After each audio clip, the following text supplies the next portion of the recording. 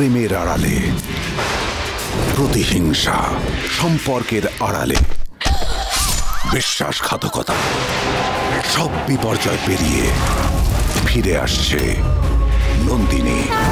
এবার তার একটাই লক্ষ্য প্রতিশোধ। আমি এই পরিবারকে ধ্বংস করব। নন্দিনী ফিরে দেখার তিন দিন উনিশ থেকে একুশে জুন সন্ধে ছটায়। বাইশে জুন থেকে নতুন এপিসোড শুধুমাত্র সান বাংলায়